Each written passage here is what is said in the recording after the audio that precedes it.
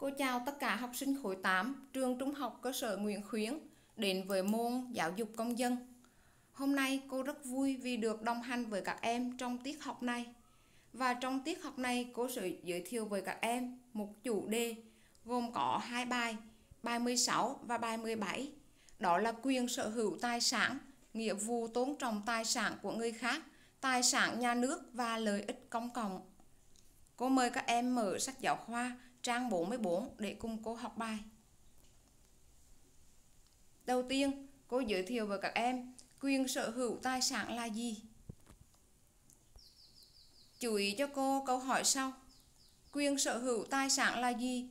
Quyền sở hữu bao gồm những quyền nào? Ở đây cô giới thiệu với các em quyền sở hữu tài sản là quyền của công dân, chủ sở hữu đối với tài sản thuộc sở hữu của mình và nó bao gồm những quyền sau.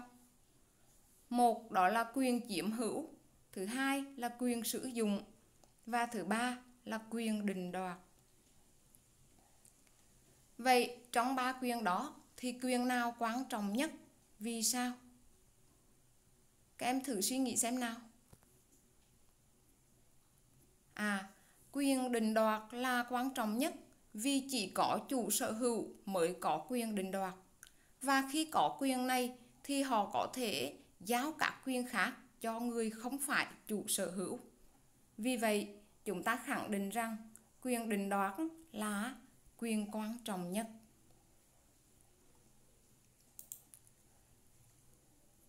Tiếp theo cô giới thiệu với các em, đây là Hiến pháp năm 2013 với điều 32 mọi người có quyền sở hữu về thu nhập hợp pháp của cải để dành nhà ở, tư liệu sinh hoạt, tư liệu sản xuất, phần vốn góp trong doanh nghiệp hoặc trong các tổ chức kinh tế khác.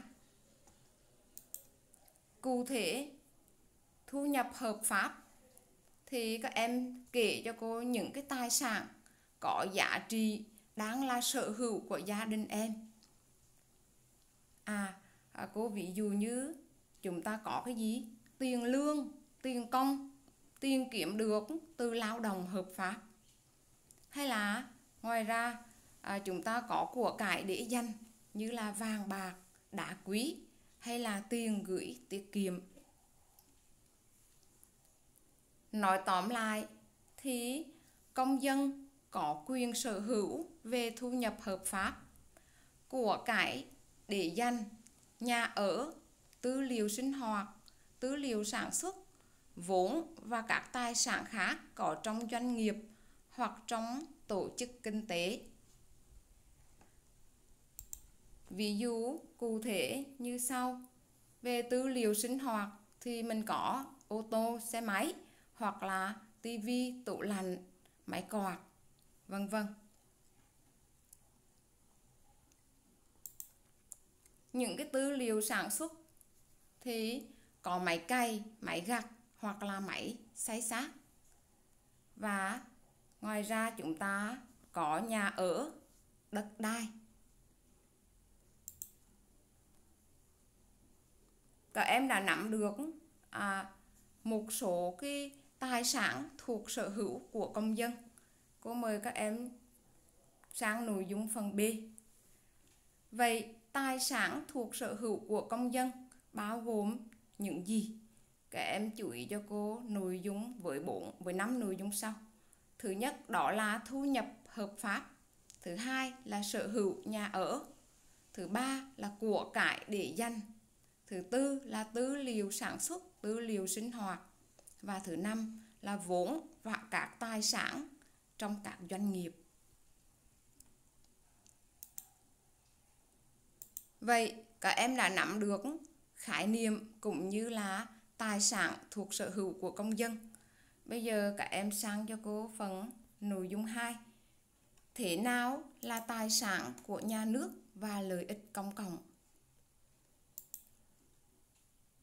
Để hiểu rõ tài sản nhà nước, bao gồm những gì, thì các em chú ý cho cô Hiến pháp năm 2013 với điều 53 Đất đai tài nguyên nước, tài nguyên khoáng sản, nguồn lợi ở vùng biển, vùng trời, tài nguyên thiên nhiên khác và các tài sản do nhà nước đầu tư, quản lý là tài sản công thuộc sở hữu toàn dân do nhà nước đại diện chủ sở hữu và thống nhất quản lý. Vậy đến đây các em đã nắm được khái niệm tài sản của nhà nước chưa nào? Cô sẽ gợi ý như sau. Tài sản của nhà nước là tài sản thuộc sở hữu toàn dân do nhà nước đại diện chủ sở hữu và thống nhất quản lý. Nó bao gồm những gì nào? À, bao gồm đất đai, tài nguyên nước, tài nguyên khoáng sản, nguồn lợi từ vùng biển, vùng trời, tài nguyên thiên nhiên khác, vân vân. Vậy lợi ích công cộng là gì? Các em sang phần B. À, lợi ích công cộng ở đây là những cái lợi ích chung dành cho mọi người và xã hội. Và ở đây cô có ví dụ như trường học, bệnh viện, đường xá, vân vân. Nó phục vụ cho cái nhu cầu thiết yếu của mỗi người.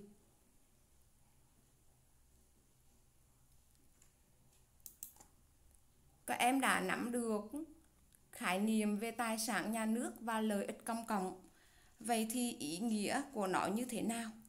Cô mời các em sang phần C. Ý nghĩa Tài sản nhà nước và lợi ích công cộng nó có ý nghĩa như sau. Thứ nhất, đó là cơ sở vật chất của xã hội để phát triển kinh tế của đất nước. Và thứ hai, đó là nó nâng cao cái đời sống vật chất và tinh thần của của nhân dân. Đây là một số hình ảnh phát triển kinh tế của ngành du lịch và hơn thế, nó còn đáp ứng được cái nhu cầu tinh thần của con người. Vậy, nghĩa vụ của công dân là gì? Trước cái tài sản của người khác và cái tài sản của nhà nước lợi ích công cộng thì cô mời các em sang nội dung 3 nghĩa vụ của công dân đối với tài sản của người khác thì chúng ta cần có nghĩa vụ sau. Thứ nhất, đó là tôn trọng quyền sở hữu của người khác. Thứ hai là không được xâm phạm tài sản của cá nhân, của tổ chức, của tập thể và nhà nước. Thứ ba là nhặt được của rơi phải trả lại cho chủ sở hữu. Thứ tư, khi vay nợ phải trả đúng hẹn và trả đầy đủ. Và ý cuối cùng là khi mượn, phải giữ gìn cẩn thận. Sử dụng xong, phải trả lại cho chủ sở hữu. Nếu như làm hư hỏng, thì chúng ta phải sửa chữa hoặc là bồi thường. Đối với tài sản của người khác thì như thế. Còn đối với tài sản của nhà nước và lợi ích công cộng thì như thế nào? Các em sang nội dung b.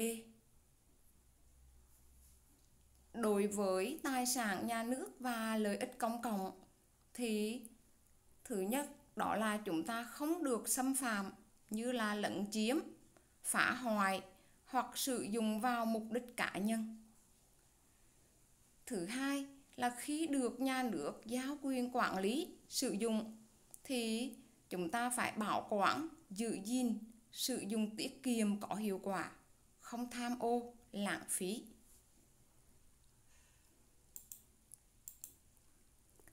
Vậy đến đây thì các em đã nắm được nội dung của bài học. Và ở đây cô có một số nội dung cho giúp các em ghi vào vở. Cụ thể như sau. Phần 1 các em ghi vào vở đó là quyền sở hữu tài sản là gì? Với nội dung A là khái niệm, nội dung B là tài sản thuộc sở hữu của công dân. Tiếp theo, các em ghi vào nội dung 2, đó là thế nào là tài sản của nhà nước và lợi ích công cộng. Nội dung A khái niệm tài sản của nhà nước, B là khái niệm lợi ích công cộng và C là ý nghĩa. Nội dung 3 nhỏ đó là nghĩa vụ của công dân. A. Đối với tài sản của người khác và B. Là đối với tài sản nhà nước và lợi ích công cộng.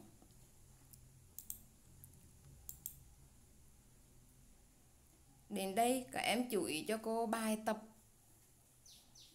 kiểm tra 15 phút với hai bài tập nhỏ như sau. Bài tập 1 Theo em, chất và loại nào sau đây có thể gây tai nạn nguy hiểm cho người? Một là bom mìn, đạn, pháo. Hai, lương thực, thực phẩm. Ba, thuốc nổ. Bốn, xăng dầu. Năm, súng săn sáu Súng các loại bảy Thuốc diệt chuột Thuốc trừ sâu tám Các chất phóng xạ chín Chất độc màu da cam 10. Kim loại thường 11. Là thủy ngân Và bài tập số 2 Em hãy xử lý tình huống sau. Cô có hai tình huống. Tình huống thứ nhất là em sẽ làm gì khi bạn bè và các em nhỏ chơi nghịch các vật lạ, các chất nguy hiểm.